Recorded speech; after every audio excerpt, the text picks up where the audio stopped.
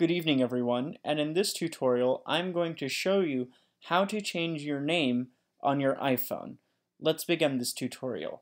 The first thing that I want you to do is I want you to click on the gray settings icon.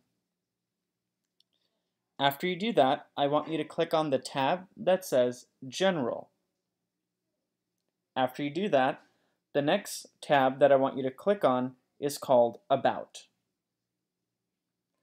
After you do that, I want you to look for an area that says name, and then right next to it, it'll say iPhone, or, or, or whatever the person's name is, and then all you need to do is click on it.